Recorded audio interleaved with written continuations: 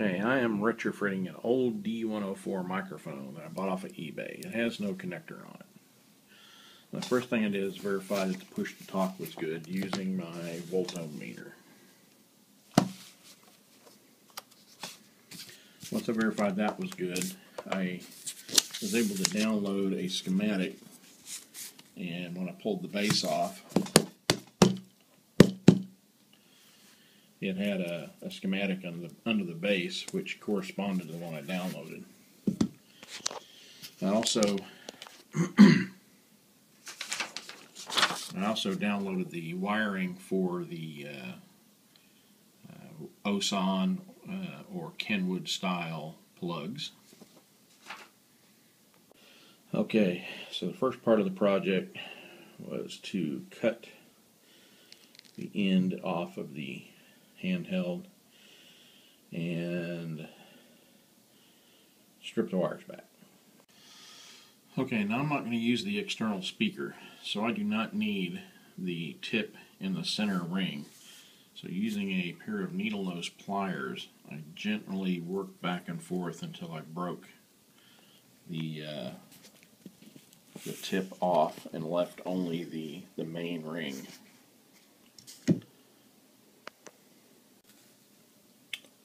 Okay, so making a temporary connection between the black and the green and the red and the white. Black and the green on the microphone, red and the white on the the uh, Kenwood connector. I have uh, used my multimeter and verified that the uh, uh push to talk now shorts between the two shields as is indicated here. Alright, so based upon my diagram here, I'm taking the white from the, from the amplifier output and connecting it to the red wire. My black, which is push to talk, connecting it to green. And uh, white and shield and black are tied together. This is the output of the amplifier, the white is tied to the white line. The shield, here's the shield with the jumper, is tied to ground. So what I've come up with, I'm not using the black wire on the handheld cable, the Kenwood cable. So can, my shield, white, and red are connected. My green and black are connected. And over here my white and red are connected. Okay, so as you've seen probably before, I'm using a little handheld here with uh, the external speaker mic. The speaker that's in the radio is fine. I don't I don't need the microphone on here. I do have my little SWR meter hooked up. So my first step is I just want to see if the push to talk functions. So I'll take my I have added a battery and I have uh, temporarily just uh, put some electrical tape around here. This one is just kind of a strain relief. And uh, remove. Now, as you can see, this was this cable here on another microphone that, that didn't work. Yeah, this is this is that. Okay, and you can see all I've got there is the, the shield, so let's uh, plug this in. Yeah, got an alignment problem here.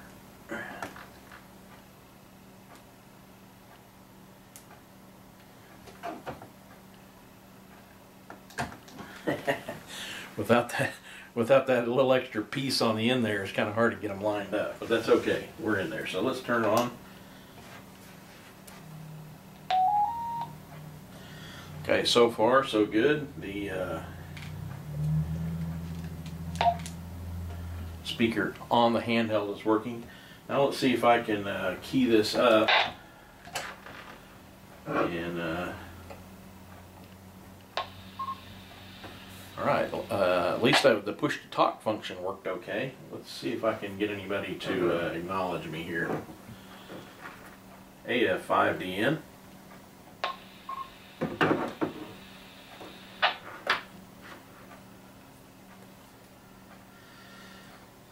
Sunday afternoon might be tough to find somebody that's uh, actually functioning. I may have to wait and test this like on a when I might when I know somebody's on. Like I might turn on my SDR sharp. if you, there's another video if you haven't seen that one, and uh, scan around see if I can find somebody on a frequency. Uh, let's try one more. AF5DN, trying to get a uh, signal check on this repeater, AF5DN.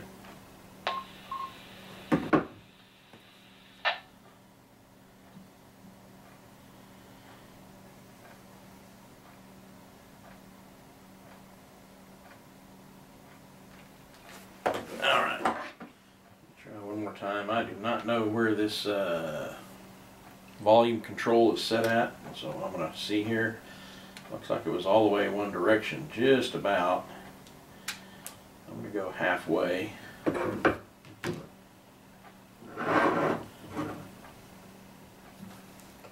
AF5DN, looking for a signal check on this repeater, AF5DN.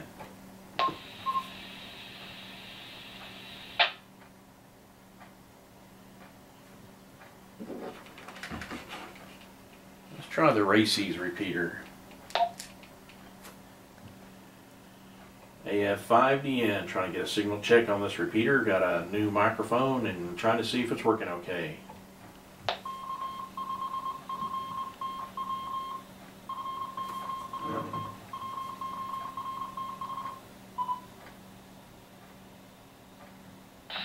Sounds awfully tinny. Sounds like you're holding your nose while you're talking. 85 LTD.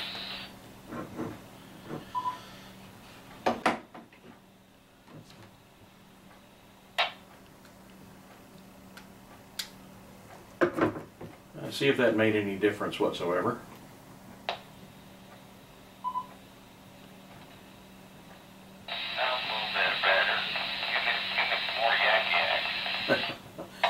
Yakety yak, don't talk back. Come on now. yeah, this is a uh, a D, one of the old timey D1 microphones I picked up uh, on Fleabay for almost nothing, and I'm trying to get it wired in and see if I can make it work. Well,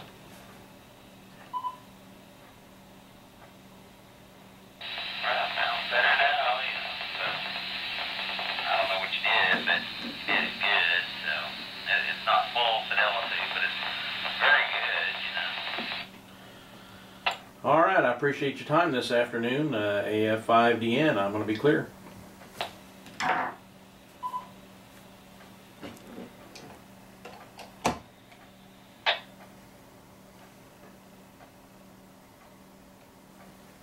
All right, so it works. A antique uh, D1 or modified D104 uh, microphone with a handheld. Can't beat that. Now what I'm going to do is I'm going to pull this uh, this old cord uh, out of here and then actually solder this one directly in. So that'll be my next project. I'm going to take it back into the to the bench.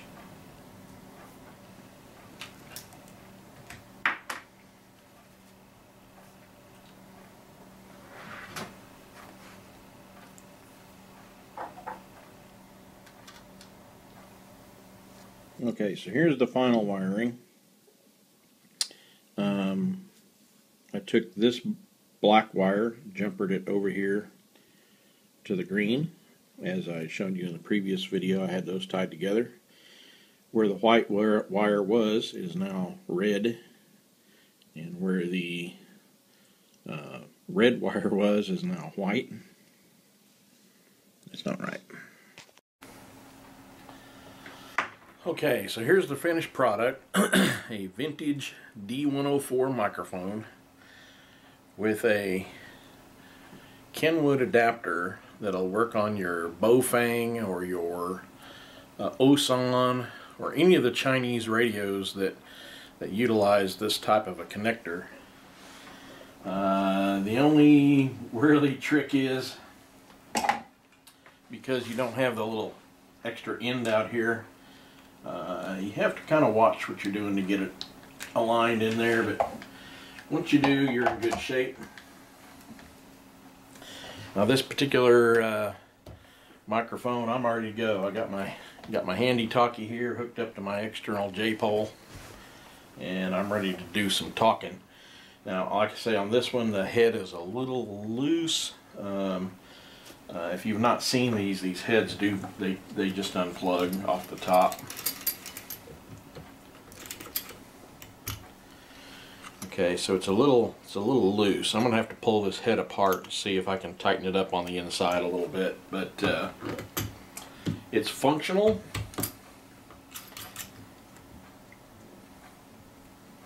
That was the main goal. And uh, what I'm gonna do is I'll show you here in just a minute. I will post up on my web page. I'm gonna take these two diagrams.